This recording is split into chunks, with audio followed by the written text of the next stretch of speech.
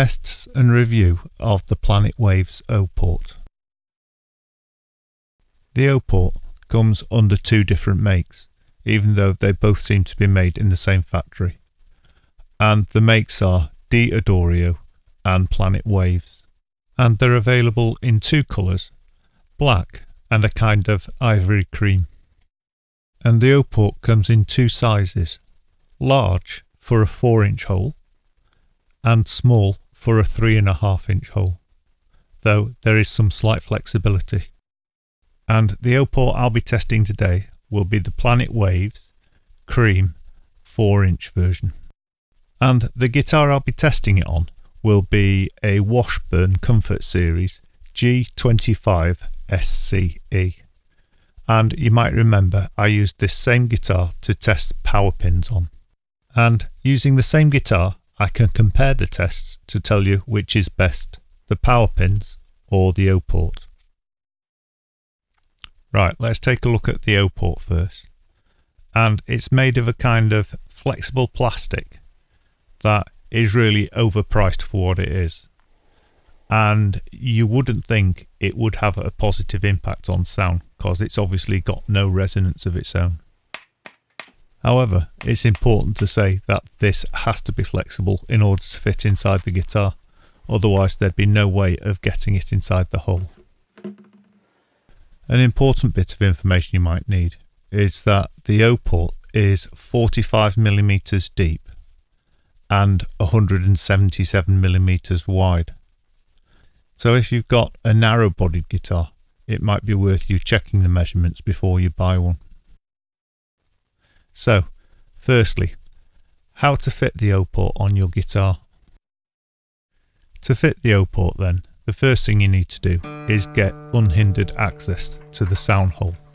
And to do this, we need to get the strings out of the way so we can access the hole. And the best way to do this is just to loosen the strings off as far as you can and push them aside. And then you can push the O port through the strings and into the hole.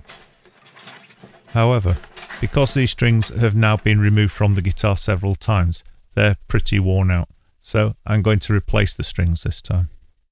And I'll use this as an opportunity to answer a question I've had in the comments, and that is why I prefer to change the strings if I've taken them off the guitar and put them back on once.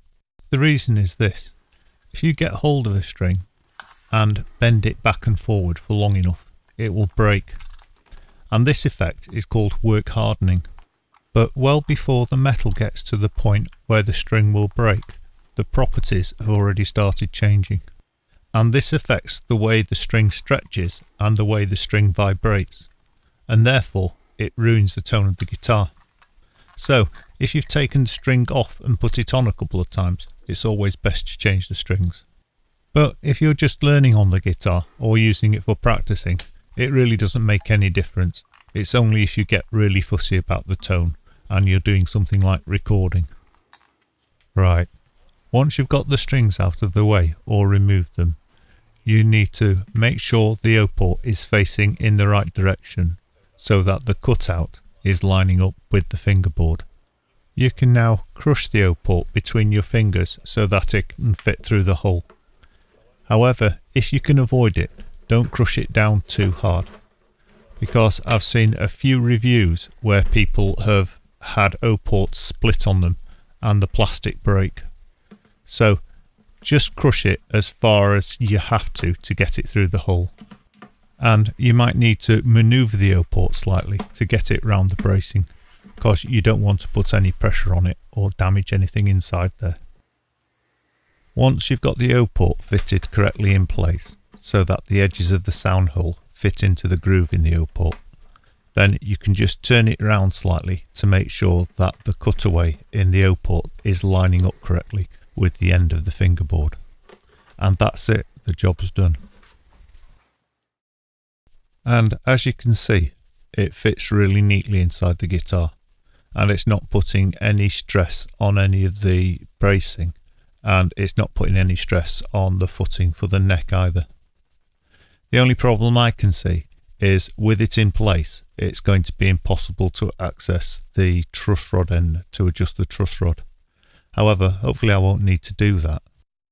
But if you decided you were going to leave it on the guitar permanently, you'd just have to remove it every time you adjusted the truss rod, which is a bit of a pain, but it's doable. Alternatively, I'd be tempted to make a hole in the sound port itself so that I wouldn't have to remove it. And I think a great improvement for a future version of this would be a bung that you could remove so you could adjust the truss rod without having to remove the entire thing. Right, all I've got to do now to finish this job up is put the strings back on. However, if you've just loosened off your strings, you just need to tune them up again.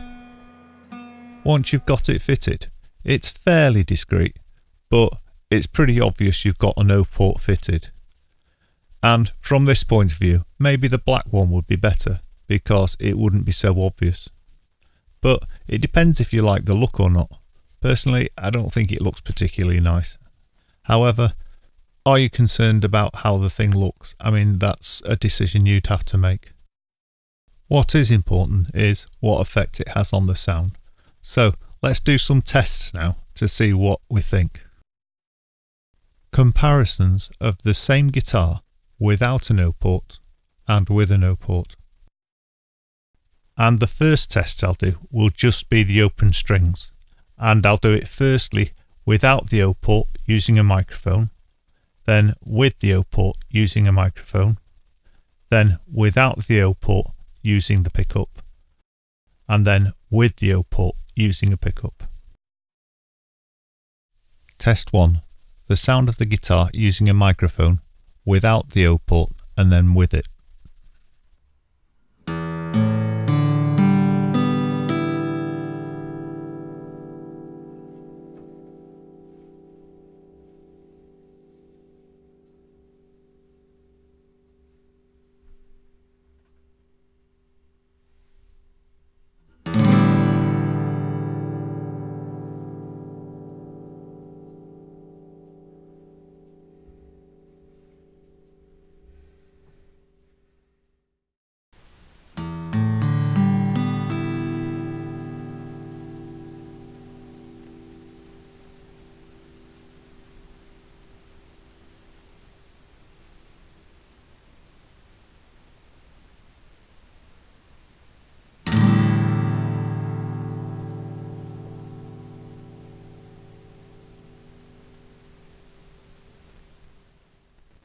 The same test, but this time using the internal pickup.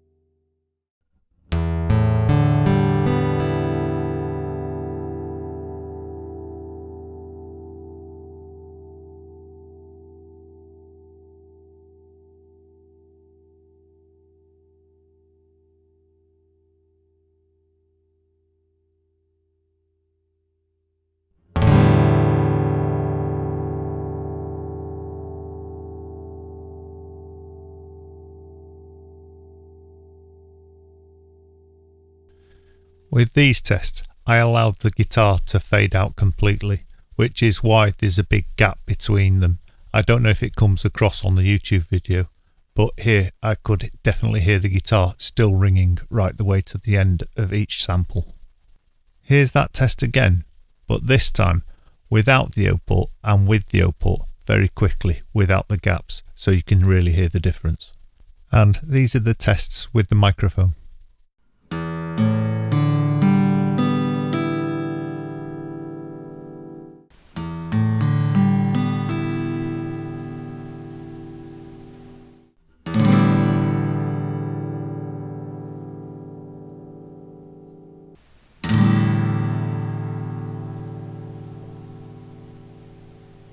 In my mind, you can definitely hear the difference between the O port guitar and the non O port guitar. And you can hear that there's more volume and more richness to the tone of the guitar with the O port.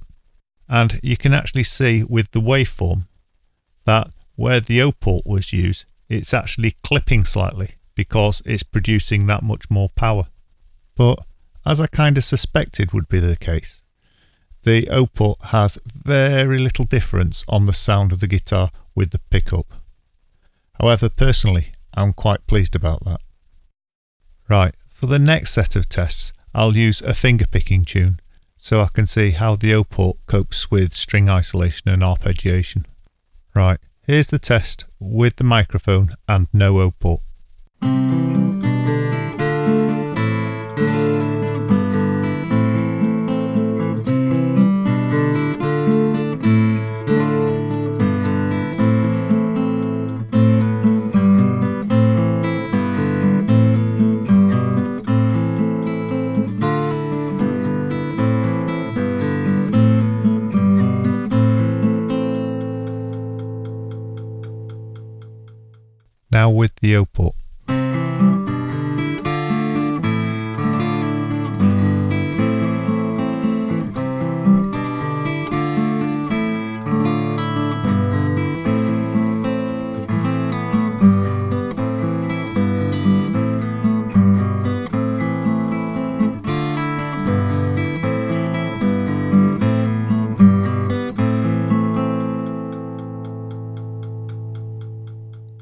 Again, there's definitely a difference.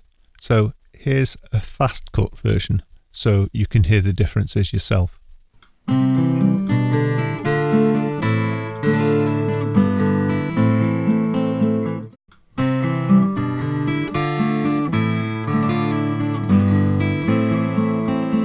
And here that is again.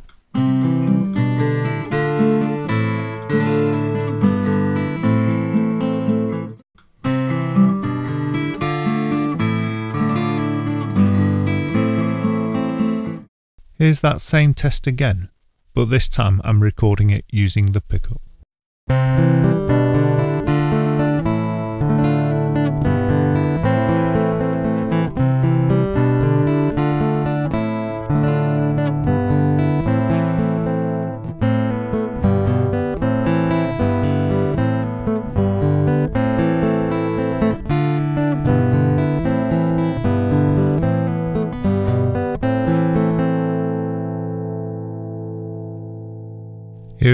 With the O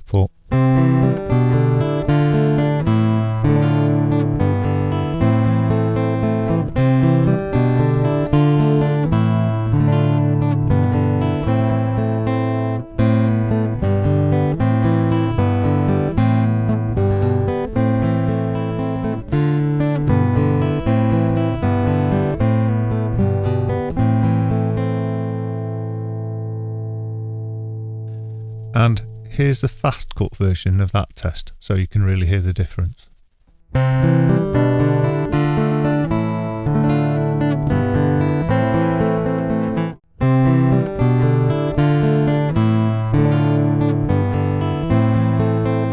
And here that test is again.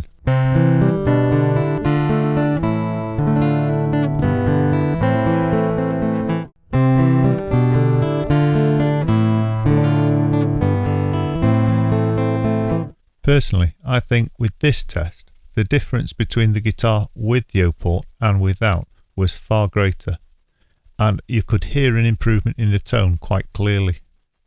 And surprisingly, you could even hear a difference between the recordings of the guitar done with the pickup, which surprised me, but I think it actually improved the tone slightly. Right, let's do the same tests again, but this time we'll see how the O port affects the sound of strumming. And as with the previous tests, we'll start with the guitar going through a microphone.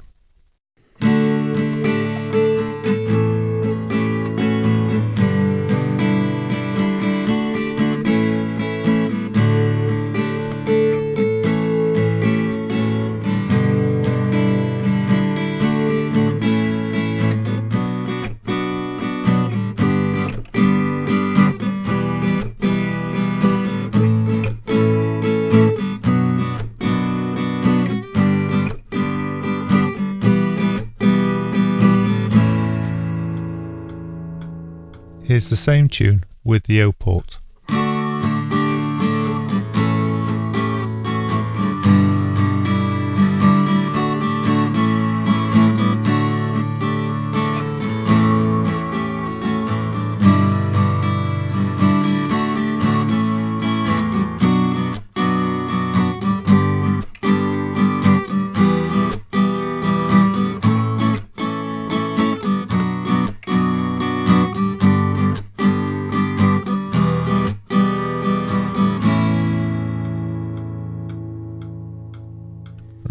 Here's the faster cut version of the same test so you can hear the difference.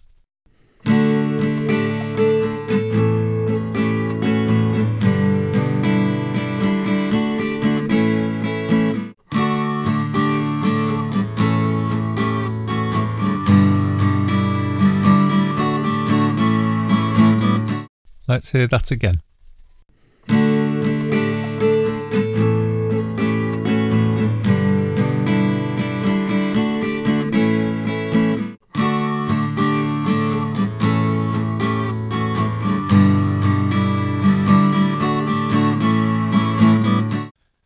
Again, you can definitely hear the difference between the guitar with the O port and the guitar without the O port. Let's see if strumming makes any difference with the pickup.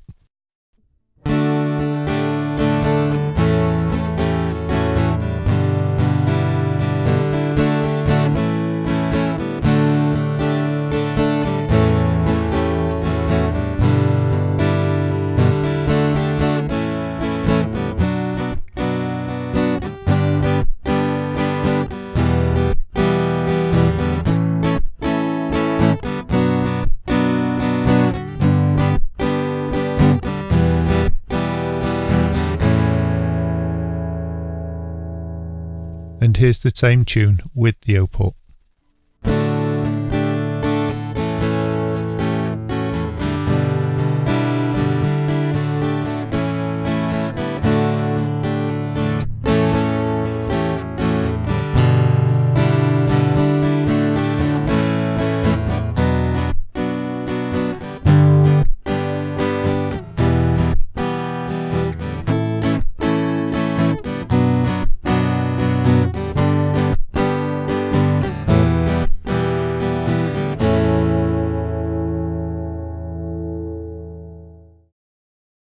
Right, let's hear a fast cut version of those tests to see if there's any difference.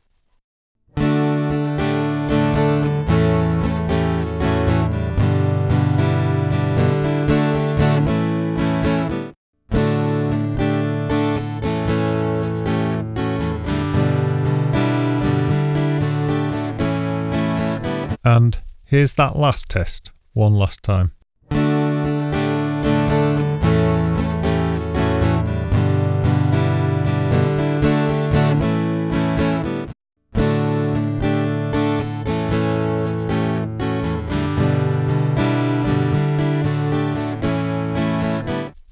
Must admit, this last test has left me slightly confused because you can hardly hear or see any difference between the two recordings, the one with the O port and the one without it. However, you can hear it physically here in the room. And I think that's because the sound is projected, so it doesn't come across so well with the microphone directly in front of the guitar. So, to prove this, I'd have to come back to this in the future and try this test again, but in a far larger room, so I can prove that the sound is being projected forward. However, for now, you'll just have to believe me. Hopefully, I've made these tests comprehensive enough that you can make your own decisions on them. Or you can listen to them a few times and decide whether you think the guitar sounds better with the O port or without it. However, I also did more tests over several days to make sure I'd thoroughly tested the thing. And these are my thoughts on it. The O port definitely works. And you can hear a difference straight away. Part of the effect the O port has on the sound is to even out the EQ. And what I mean by this is you lose some of the very high end and you lose some of the very bottom end and the mid ranges are boosted. And this is partly what gives you the impression of more volume. However, it also definitely projects the guitar further. So if you were a busker or a worship leader in a church playing acoustically, this would definitely help your guitar sound project around a room or around the noisy street. So, for certain people, it's a definite brilliant investment. And if I was to compare this, which is half the price of the power pins, with the power pins, I would go with this every time because it works very effectively. And I think it can improve the right guitar. But taking this in mind, if you've got a very rich guitar to start with, it could make it sound muffled and quite ugly. So for some guitars, it would be really great, others not so much. And I think where it'll make a big difference is on a cheaper guitar or a guitar with a smaller body because it gives the tone a little more richness, making it sound like it's got a deeper body or a more expensive tone. So basically, for the right person, I reckon this is a really worthwhile purchase. And it's approximately £20, which, when you think it's just a piece of plastic, seems too much. But for the effect it gives, it's actually very cheap. And just as a point of interest, there are some luthiers who actually turn the wooden equivalent of an O port with a lathe and fit that into the guitar when they're constructing it. So it's clearly got some merit. With all of the tests in this video, the guitar was recorded with no effects and no modification, so you'd have a better idea of how the O port affects the sound. However, Here's the guitar recorded with effects and modification so you can hear how it will sound with the O port recorded as you would normally.